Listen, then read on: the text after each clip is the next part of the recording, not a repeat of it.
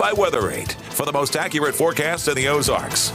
Well, we started the day off on a murky note. Lots of fog uh, from Springfield north and east, uh, but uh, actually more north and northwest. But we got rid of the fog pretty quickly. I mean, we were done with the low cloudiness by about mid morning. The problem is these high clouds have just been so persistent this week, and they were rather thick throughout the day here in Springfield. That kept us from getting too far above the 50 degree mark. In fact, officially, the high today in Springfield 50 degrees. We're sitting at 48 degrees right now. Winds out of the south southwest at 3 miles per hour. There's a look. Uh, high cloudiness continues across the area. It's looking like it's beginning to thin out, though, maybe at least on the northwest edge. And that trend will continue overnight tonight. Tomorrow looks to be a very, very bright day.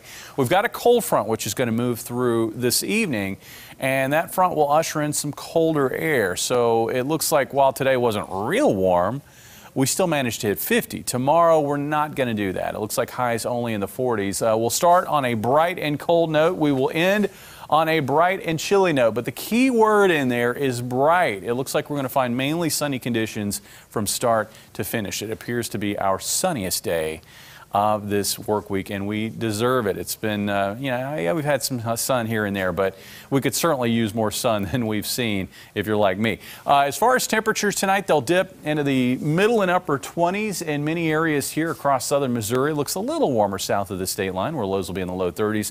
And then highs tomorrow will range from near 40 in Rolla, 41 in Fort Leonard Wood here in Springfield, 43.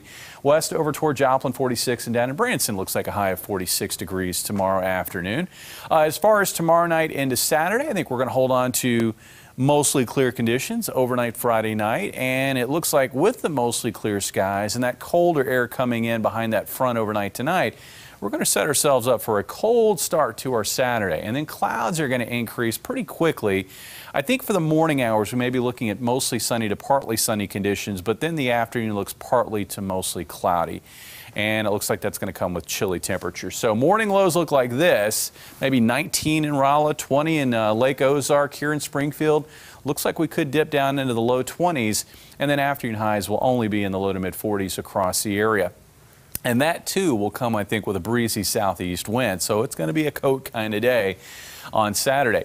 As far as the pattern going forward, uh, it may be a little hard to see, but we've got a pair of storms here located off the west coast of the United States. And that's what is going to play a role in our weather late this weekend into next week.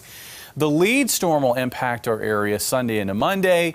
The following storm will impact our area on Wednesday. Now, this lead storm looks like it'll spread rain into the area overnight Saturday night. And I think with very dry air in place, across our eastern counties. We're talking about areas near and east of Highway 63. There is going to be some risk for an icy mix to start off the day. So areas from maybe, uh, say, uh, maybe Vichy, southeast across Salem, possibly into northern Shannon County. This may be an area where we have an icy mix of freezing rain and sleet to start off the day on Sunday.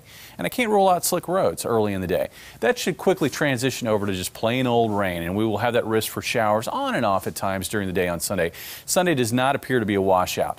The one thing that's going to be kind of tricky to forecast here is how warm do we get? If we hold on to east southeast winds, which I think we may over our eastern counties, that is a colder look in regard to temperatures where we may see highs just stuck in the 40s. Meanwhile, closer to this front, winds may become a bit more southerly, so we may get some 50s into southwest Missouri and northwest Arkansas. I think here in Springfield, we're going to sort of be on the line. That front will dip south of the area. I think we're going to see another low developing on that front over northern Arkansas. That will become the primary low, and that means we're going to stay sort of locked in, I think, with chilly temperatures on Monday.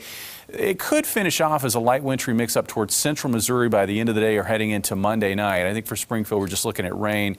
49 for the high on Monday, but I think temperatures will be falling back during the afternoon at least. Tuesday looks rather cloudy, high of 39. And I think with colder air in place, the next storm we're going to have to keep an eye on. I think that one still has some potential to produce rain or snow showers on Wednesday of next week. Uh, potential for snow coming back. All right, Jamie, thank you. On the way, I hear 5-1 animal shelter